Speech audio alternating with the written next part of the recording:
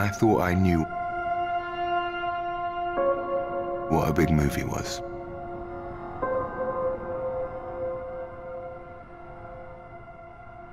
Until I came onto this.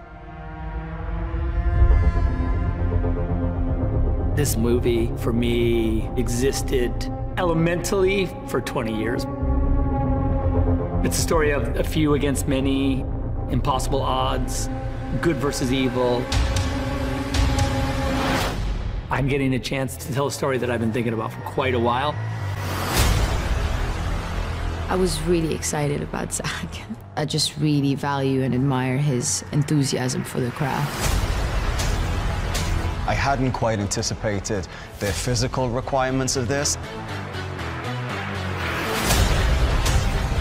We had a solid two months of preparing the body to get to that place. I've never trained that much. I mean, it is gargantuan.